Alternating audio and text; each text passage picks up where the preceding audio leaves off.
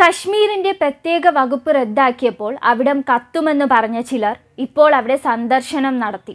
K T ജലീലിനെതിരെ വിമർശനം ഉന്നയിച്ച് കേന്ദ്രമന്ത്രി. കശ്മീരിൽ പോയ ആളുകളോട് ഒരു അഭ്യർത്ഥനയുണ്ട്. രണ്ടായിരത്തി പത്തൊമ്പത് ഓഗസ്റ്റ് അഞ്ചിന് പാർലമെന്റ് മുന്നൂറ്റി എഴുപതാം വകുപ്പ് എടുത്തു കളഞ്ഞു. അന്ന് കേരളം മുഴുവൻ നടന്ന് ചിലർ പ്രസംഗിച്ച ഒരു കാര്യമുണ്ട്. കശ്മീരിന്റെ പ്രത്യേക പദവി റദ്ദാക്കിയാൽ രാജ്യം തീപ്പന്തമാകും കലാപമാകും എന്നെല്ലാമായിരുന്നു വാദങ്ങൾ. പാർലമെന്റിന്റെ അകത്തും കേരളത്തിലെ എം പിമാർ ഇത്തരത്തിൽ പ്രസംഗിച്ചു. കശ്മീർ കലാപ കുലുഷിതമാകുമെന്നും പ്രധാനമന്ത്രി നരേന്ദ്രമോദി രാജ്യത്തെ കലാപത്തിലേക്ക് തള്ളിവിടാൻ ശ്രമിക്കുന്നുവെന്നും ചിലർ പറഞ്ഞു. അവരോടാണ് അഭ്യർത്ഥിക്കാനുള്ളത്. ദയവായി നിങ്ങൾ കശ്മീർ പോയപ്പോൾ കണ്ട കാഴ്ച എന്താണെന്ന് കേരളത്തിലെ ജനങ്ങളോട് പറയാൻ തയ്യാറാകണം. കശ്മീർ ജനതയ്ക്കിടയിൽ സമാധാനം പുലർന്നു എന്നുള്ളത് കണ്ടു മനസ്സിലാക്കിയ സ്ഥിതിക്ക് നേരത്തെ സ്ഥിരീകരിച്ച നിലപാട് തെറ്റായിരുന്നുവെന്ന് തുറന്നു പറയണം. ജനങ്ങളെ തെറ്റിദ്ധരിപ്പിക്കാൻ ശ്രമിച്ചതിൽ അവർ മാപ്പ് പറയാൻ തയ്യാറാകണം. കശ്മീർ സന്ദർശിച്ചപ്പോൾ കണ്ട വസ്തുതകൾ ഇനിയെങ്കിലും ജനങ്ങളോട് തുറന്നു പറയണമെന്നും കേന്ദ്ര സഹമന്ത്രി വി മുരളീധരൻ പറഞ്ഞു. അതേസമയം കശ്മീരിനെ കുറിച്ചുള്ള ജലീലിന്റെ പരാമർശത്തിൽ തിരുവനന്തപുരം സിറ്റി പോലീസ് കമ്മീഷണർക്ക് എ പരാതി നൽകി. എ ബി വി പി സംസ്ഥാന സെക്രട്ടറി എൻ സി വി ശ്രീഹരിയാണ് പരാതി സമർപ്പിച്ചത്. ഇന്നലെയായിരുന്നു കമ്മീഷണർക്ക് പരാതി കൈമാറിയത്.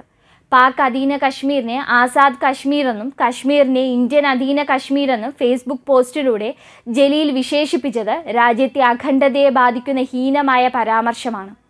രാജ്യവിരുദ്ധ പരാമർശത്തിൽ ശക്തമായ നിയമ നടപടി വേണമെന്നും എ ബി വി പിയുടെ പരാതിയിൽ വ്യക്തമാകുന്നു. നേരത്തെ പാക് അധീന കശ്മീരിനെ ആസാദ് കശ്മീർ എന്ന് വിശേഷിപ്പിച്ച് Facebook പോസ്റ്റിട്ട് K T Jaleel M L എക്കെതിരെ രാജ്യദ്രോഹത്തിന് കേസെടുക്കണമെന്ന് കേന്ദ്ര സഹമന്ത്രി വി മുരളീധരൻ പറഞ്ഞിരുന്നു. കശ്മീർ ഇന്ത്യയുടെ അവിഭാജ്യ ഘടകമാണ് എന്നുള്ളത് കഴിഞ്ഞ എഴുപത്തഞ്ച് വർഷമായി ഇന്ത്യയുടെ പ്രഖ്യാപിത നയമാണ്. കശ്മീരിനെ ആസാദ് കശ്മീർ എന്നൊക്കെ വിശേഷിപ്പിക്കുന്നത് പച്ചയായിട്ട് പറഞ്ഞാൽ രാജ്യദ്രോഹമാണെന്നും വി മുരളീധരൻ മാധ്യമങ്ങളോട് പ്രതികരിച്ചിരുന്നു.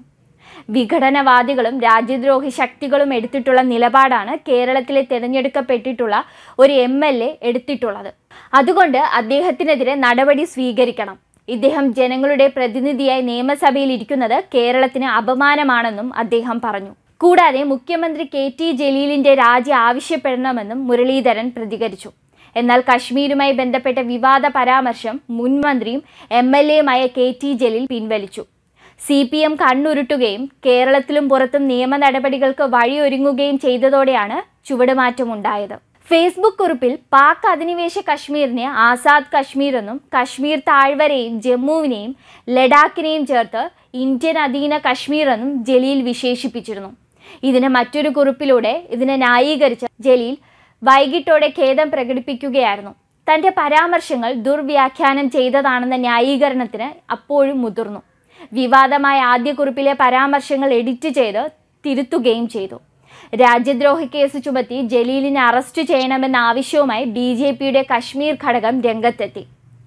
പാർട്ടി കേന്ദ്രത്തിൽ നിന്ന് ജലീലിന് തിരുത്തൽ നിർദ്ദേശം ലഭിക്കുകയും ചെയ്തു. എന്നാൽ മുഖ്യമന്ത്രിയോ സി പി എം നേതൃത്വമോ ഔദ്യോഗിക പ്രതികരണത്തിന് തയ്യാറായില്ല. കൂടാതെ സി പി എം കേന്ദ്ര കമ്മിറ്റി അംഗം കൂടിയായ മന്ത്രി എം വി ഗോവിന്ദൻ കണ്ണൂരിൽ ജലീലിനെ തള്ളിപ്പറഞ്ഞു. News desk Karma news.